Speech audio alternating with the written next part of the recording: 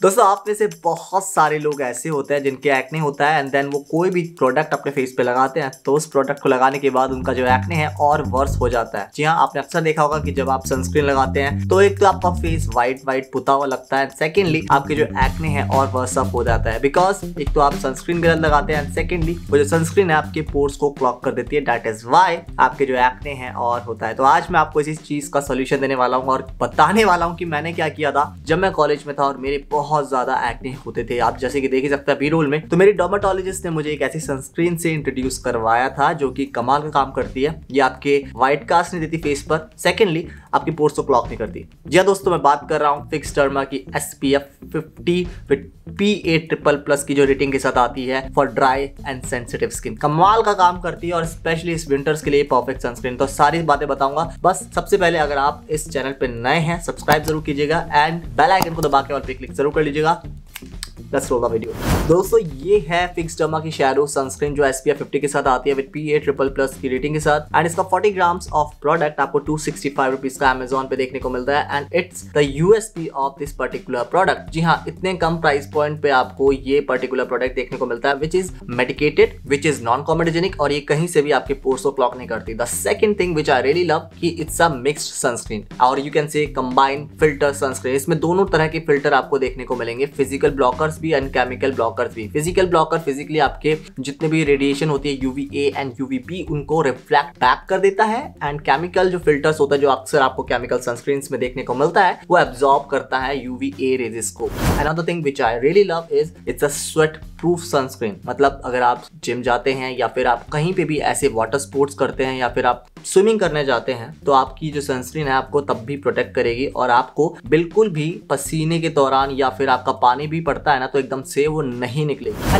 Another thing I really like about this sunscreen की ये जो एक ऐसी सनस्क्रीन है जो आपको एक मैट लुक भी देती है एंड विदाउट एनी ड्राइनेस अब जो ड्राई स्किन वाले लोग होते हैं ना तो उनको अक्सर ऐसी सनस्क्रीन यूज़ करनी पड़ती है जो ऑयली साइड पे होती है, चिपचिपी होती है तो इसमें आपको बिल्कुल भी नॉन ग्रीसीनेस देखने को मिलेगी। ऐसा नहीं लगेगा कि बिल्कुल भी चिप चिप हो रखी है आपके चेहरे के ऊपर। एंड द सेकंड थिंग कि आपको एक मैट फिनिश भी देखने को मिलती है, जो कि बहुत ही कम सनस्क्रीन प्रोवाइड करती है and specially in this price point अगर इस सनस्क्रीन को मैं यूज़ करने का तरीका बताऊँ तो सिंपली आपको अपना मुँह धोना है एंड देन आपको एक अच्छा मॉइस्चराइजर लगा सकते हैं, अगर आपको लगता है। बट अगर आपको नहीं लगता तो आप डायरेक्टली सनस्क्रीन को लगा सकते हैं and you are good to go और हर बार आपको चार से पाँच घंटे के बाद, क्योंकि अच्छी सनस्क्रीन है, चार से पाँच घंटे के बाद आपको रीअप्लाई करनी होती है। अगर आप कहीं बाहर जा रहे हैं तो 20 से 30 मिनट पहले आपको ये अप्लाई करनी है एंड थोड़ा सा रुक जाइएगा एंड देन आप स्टेप आउट कर सकते हैं। इसी के साथ आप नोटिस करेंगे कि आपका फेस ऑयली नहीं है ग्रीसी नहीं है एंड इसी के साथ आपको कोई भी व्हाइट कास्ट नहीं देखने को मिलती इस पर्टिकुलर सनस्क्रीन के साथ। दोस्तों सनस्क्रीन को जो खास बनाता है, वो है इसके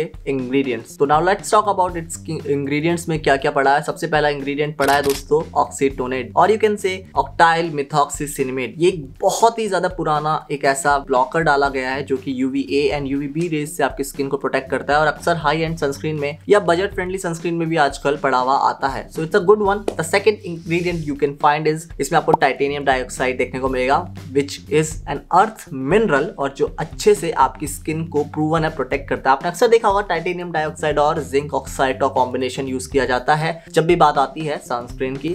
इसी के साथ ही दोस्तों, अगला जो इसका इंग्रेडिएंट है, वो आपको देखने को मिलेगा बेंजीफिनॉन फोर जो ना सिर्फ़ आपकी स्किन को यूवी रेजिस से बचाता है, बल्कि सन के होने वाले एडवर्स इफ़ेक्ट यानी कि ब्राउन स्पॉट्स हो जाते हैं या फिर सन टैन हो जाता है तो इनसे भी आपकी स्किन को प्रोटेक्ट करता है। Next and the last ingredient we have is called avobenzone ये बेसिकली एक केमिकल फ़िल्टर है जो कि UV A and UV B जो रेजेस होती है, उनको एब्जॉर्ब कर लेता है अपने अंदर। इसी के साथ इसमें आपको कुछ परफ्यूमिंग एजेंट्स भी देखने को मिलेंगे, और इसकी जो परफ्यूम्स हैं, वो बहुत ही ज़्यादा ऐसी नहीं है कि आपको बहुत तंग करेगी। थोड़ी देर के लिए आएगी and then you are good to go इसी के साथ ही कुछ सवालों को मैं एड्रेस कर लेता हूँ जो सबसे ज़्यादा पूछे जाते हैं जो सबसे पहला सवाल पूछा जाता है कि यार इस सनस्क्रीन को लगाने के बाद ना मुझे काफ़ी ज़्यादा पिंपल्स हो गए या दोबारा से होने शुरू हो गए। दैट्स बिकॉज़ कि इसमें ना आपको परफ्यूमिंग एजेंट्स भी देखने को मिलते हैं। सो so, अगर आपको ऐसा लगता है कि पर्टिकुलर सनस्क्रीन को लगाने के बाद पिंपल्स बढ़ रहे हैं या रेड हो रहे हैं तो आपको डिसकंटिन्यू कर देना है ये पर्टिकुलर सनस्क्रीन क्या ये सनस्क्रीन ऑयली स्किन के लिए है? ये हर एक स्किन टाइप वाले लोग यूज़ कर सकते हैं, इसमें आपको कोई भी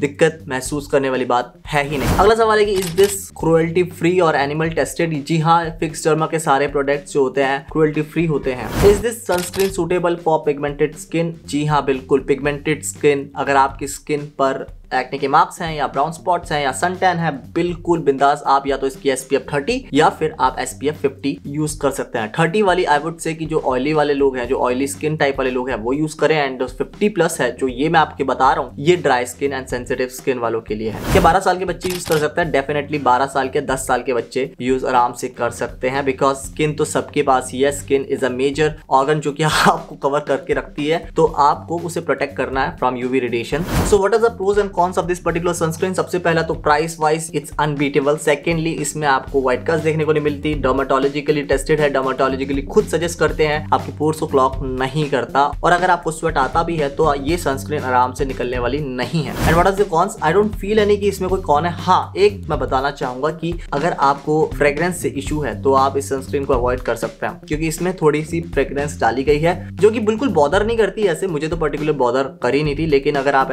ऐसे बंदे हैं कि जिनको बॉदर करती है तो you can totally skip it out so overall ये एक ऐसी सनस्क्रीन है जो कि आप हर एक सीज़न में, ना सिर्फ़ विंटर्स में बल्कि हर एक सीज़न में अप्लाई कर सकते हैं। और अगर आपके पिंपल्स हैं या पिंपल्स के मार्क्स हैं या ऊपर पोर्स की जो समस्या है, वो भी है तो आप इसे एज अ सीरम मतलब आप पहले सीरम लगाएँ देन इसके ऊपर आप एक अच्छी सनस्क्रीन जैसे कि ये वाली है, वो लगा के प्रोटेक्ट कर सकते हैं और एक काफ़ी अच्छी तरह से काम करती है। और अगर आपको चेकआउट करना प्रोडक्ट लिंक डाल दूँगा डिस्क्रिप्शन में चेकआउट कर सकते हैं और आज ही अपने एक्ने को बचा सकते हैं वर्ष होने से और अपनी स्किन को प्रोटेक्ट कर सकते हैं। विद दैट बिंग सेट अगर आपको कोई भी सवाल हो तो आप उससे कमेंट में पूछ सकते हैं। अगर आपने चैनल को सब्सक्राइब नहीं करा डू जॉइन द कम्युनिटी और ये रहा मेरा Instagram do follow me there